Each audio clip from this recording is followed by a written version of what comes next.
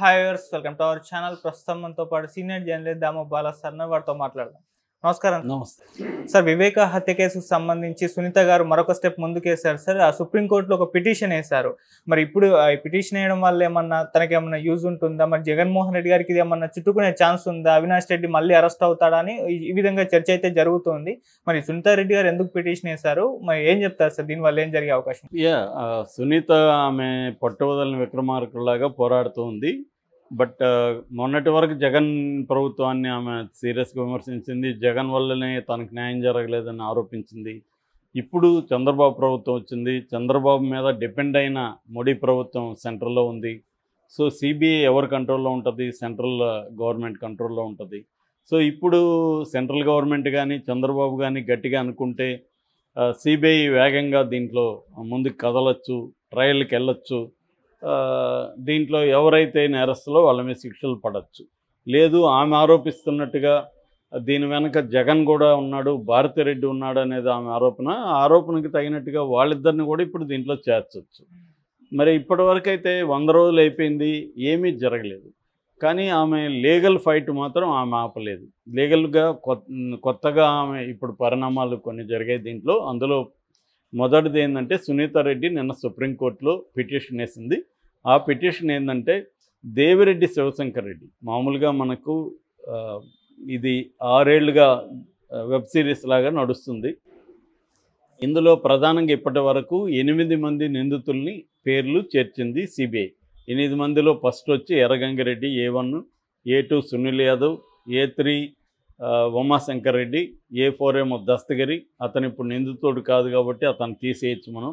అతడు నిందితుడి స్థానం నుంచి సాక్షి స్థానంలోకి ప్రమోట్ అయిపోయాడు. సో అతను లేడు. ఏ ఫైవ్ వచ్చి దేవిరెడ్డి శివశంకర్ రెడ్డి ఏ సిక్స్ వచ్చి గజ్జల ఉదయ్ కుమార్ రెడ్డి ఏ సెవెన్ మన Avinash Reddy father Bhaskar Reddy A eight Avinash Reddy.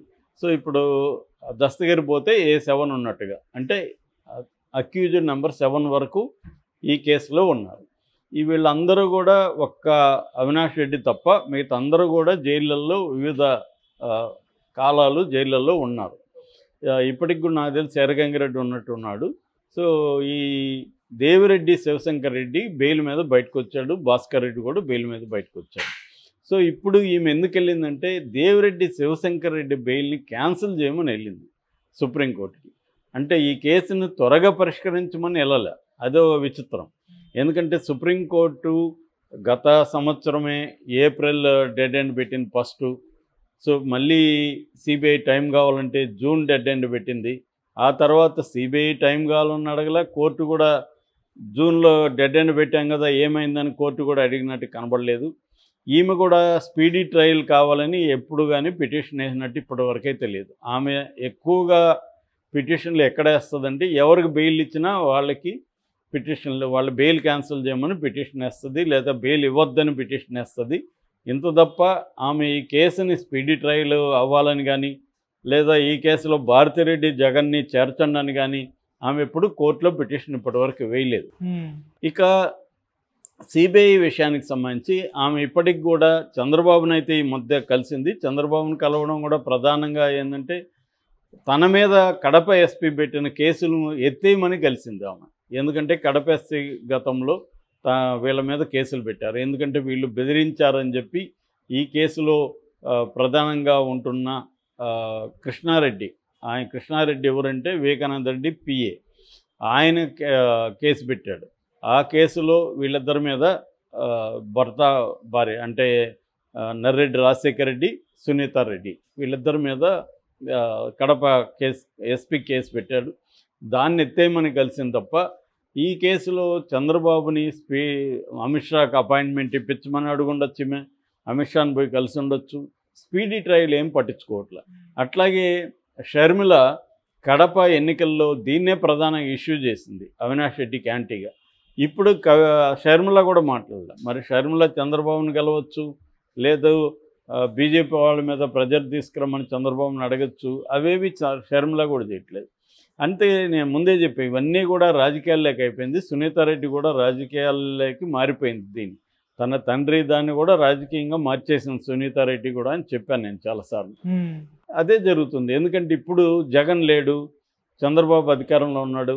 ఇప్పుడు ఎందుకు స్పీడీ ట్రయల్ జరగట్లేదు? ఇప్పుడు ఎందుకు ఈ మూడేళ్ళు అయిపోయింది? మూడేళ్ళలో సిబిఐ ఒక ఇంచు కూడా దీని మీద వర్క్ చేయలేదు కదా ఎందుకు? సో ఎందుకు కోల్డ్ స్టైల్లో పెట్టారు? చ- ఎందుకంటే చంద్రబాబుకి ఎప్పుడు కూడా చంద్రబాబుకి ఎందుకు ఉంటుంది? వివేకానంద రెడ్డి ఏమన్నా చంద్రబాబు మనిషా బంధువా?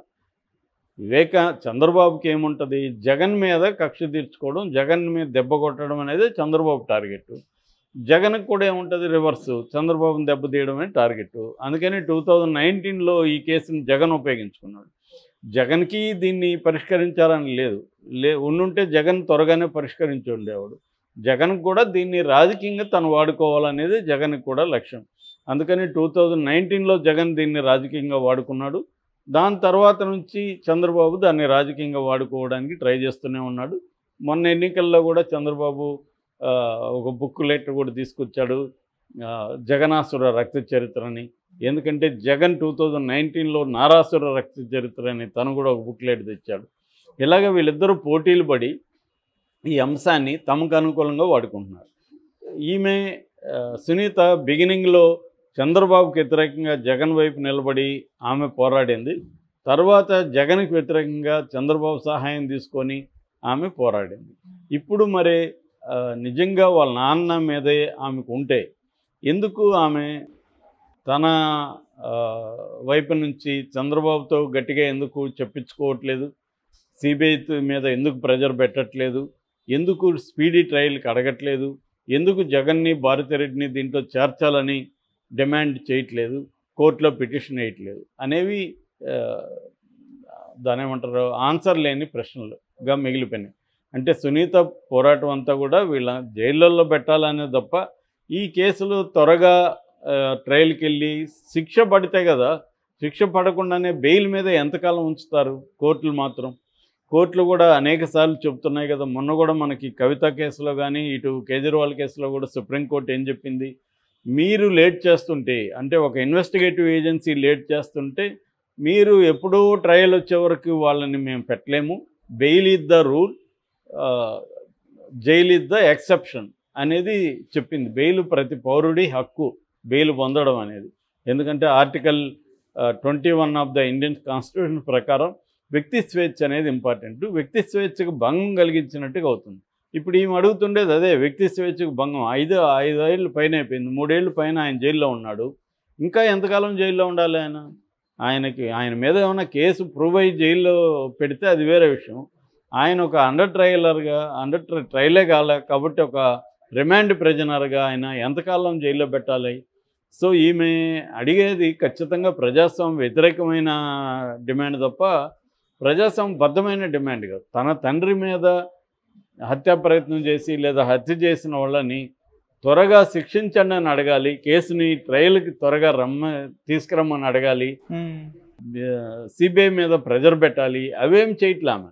బెయిల్ మీద వచ్చిన వాళ్ళని బెయిల్ క్యాన్సిల్ చేయండి అని అడుగుతుంది. సో ఇది విడ్డూరంగా ఉంది. ముందు నుంచి కూడా చెప్తున్న సునీత బిహేవియర్ అంతా కూడా ఈ కేసులో విడ్డూరంగానే ఉంది. సో మన లోతుల్లోకి వెళ్ళకుండా పై పైన చూసేవాళ్ళేమో సునీత పోరాటం చేస్తుంది తండ్రి కోసం అంతకులు ఇదంతా మాట్లాడుతుంది. నిజానికి అంతకుముందు వన్ ఇయర్ పైన సునీత తండ్రితో కూడా మాటలు లేవు అనేది చెప్తారు. ఆయన దూరం ఆయన ఒంటరిగా ఉంటున్నాడు వీళ్ళందరూ ఇక్కడ ఉంటున్నారు వాళ్ళ ఆయన భార్య కూడా వెళ్తూనే ఉంటుంది. సో వాళ్ళ ఫ్యామిలీలో ఇష్యూస్ ఉన్నాయి. అందరి ఫ్యామిలీలో ఉన్నట్టుగా వాళ్ళ ఫ్యామిలీలో ఉన్నాయి. సో ఏదేమైనా వివేకానంద కేసు అనేక మలుపులు తిరుగుతూనే ఉంది కానీ దానికి రీచ్ అయితే కావాలి ఎండ్ అయితే ఒక లాజికల్ ఎండ్కి అయితే తీసుకోలేదు నేను చాలా కేసులు ఇదే జరుగుతుంది. సిబిఐ ఈడీ కేసుల్లో లాజికల్ ఎండ్కి వెళ్ళకుండా జ ప్రొలాంగ్ అవుతూనే ఉంటాయి. ఇప్పుడు జగన్ది తీసుకో జగన్ది సిబిఐ ఈడీ పదకొండేళ్ళ పైన జగన్ బెయిల్ మీద బయట ఉన్నాడు. పదకొండేళ్ళుగా ముందుకెళ్ళదు వెనక్కి వెళ్ళదు కేసు జగన్ మీద. మరి మొన్నటి వరకు అయితే జగన్ మోడీని సపోర్ట్ చేశాడు. ఇప్పుడు మోడీని కూడా సపోర్ట్ చేయట్లేదు ఇప్పుడు ఎందుకు మూడు నెలల్లో జగన్ మీద ఎందుకు ముందుకెళ్ళట్లేదు కేసులు?